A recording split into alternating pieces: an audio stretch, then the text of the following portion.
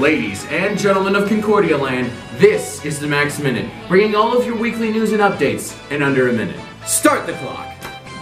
Last week only had four days, making it shorter than Mr. Gonzalez.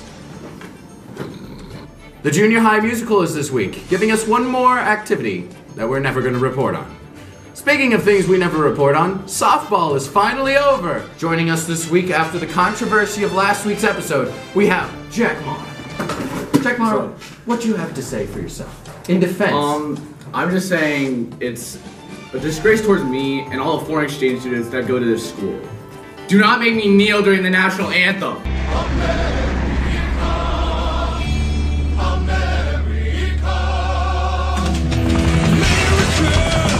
The junior high will be gone from Wednesday through Friday this week, making the junior high hallway semi tolerable for the first time in a long time, leaving the only quarantine zone on the Concordia campus the men's varsity locker room.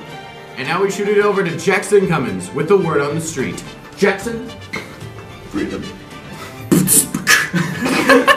The Concordia cell tower went up this week, infecting us all with radiation, more than likely. In other news, Jacob Day probably had a tennis match. We were going to do a joke about the lunch line, but it was too long. That's all the time we have for today. Thank you for tuning in to Max Minute. Stay classy, Concordia.